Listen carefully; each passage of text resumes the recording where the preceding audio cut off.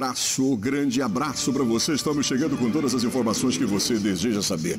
Espero encontrá-lo bem. Espero que você esteja em plena e absoluta paz. Obrigado pela audiência, obrigado pelo carinho. A partir de agora, o Rota está no ar, mais um capítulo da autêntica novela real.